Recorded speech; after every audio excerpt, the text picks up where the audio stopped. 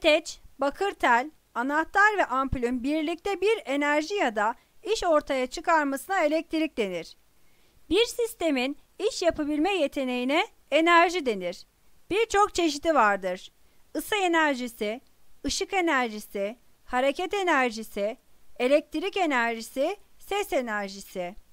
Elektrik enerjisiyle çalışan bazı makineler, ütü, radyo, bilgisayar, çamaşır makinesi, televizyon, süpürge ve benzeri. Elektrikten günlük yaşantımızda birçok alanda faydalanırız. Örneğin aydınlatma, ısıtma, kurutma, haberleşme, ses üretme, hareket ve bunun gibi.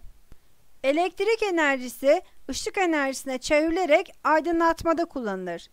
Aydınlatma aracı olarak da ampul, el feneri, floresan, lamba, ışıklı tabelalar ve bunun gibi araçlar kullanılabilir.